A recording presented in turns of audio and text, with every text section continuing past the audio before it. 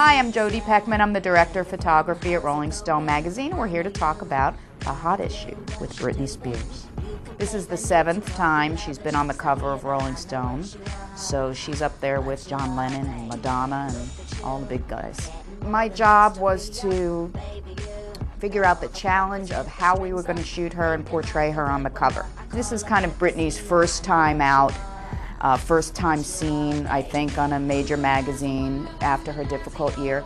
And so I thought by choosing a female photographer, it would make her feel more comfortable. And we worked with photographer Peggy Sirota, who has shot covers for us before.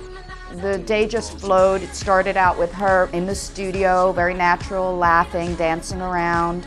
We played a lot of loud music. We got her into a few clothing changes. One was natural, one was kind of a, a showgirl kind of thing, and that's where we knew we'd put her in something a little bit spangly and a little bit glittery, and we wanted to turn on the music and have her dance around. You have the hair guys bring out the big fans and blow her hair around, and it's really playful, and it was a great day. We just wanted, you know, the, the essence of her to come through in the photographs with no tricks or smokes and mirrors or anything like that. She's had a remarkable year and it's probably the biggest comeback of the year. Our main goal was really to try to get a very natural, warm, friendly cover.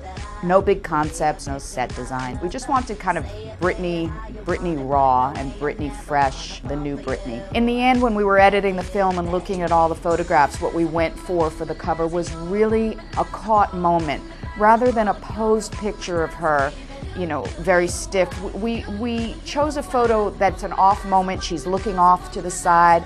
I think somebody said something funny and she's just laughing, and it's a very, very natural, candid shot. She looks incredibly beautiful. She looks sexy, and she just looks really happy, and it is the perfect cover to the Rolling Stone Hot Issue.